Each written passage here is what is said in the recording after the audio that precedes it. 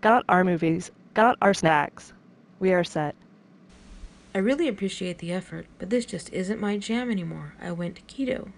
Don't people like die from that? Hey, if I die, at least I die skinny. So Keto Queen, did you cheat on your diet yet?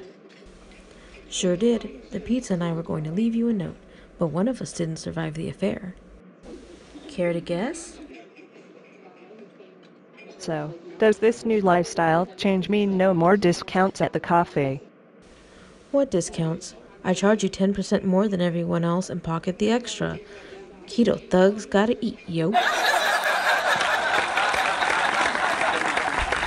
told me he loved me, but I was just a distraction until his wife got home.